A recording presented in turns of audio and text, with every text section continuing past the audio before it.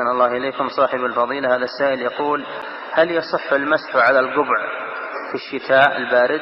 لا لا يصح المسح على القبع.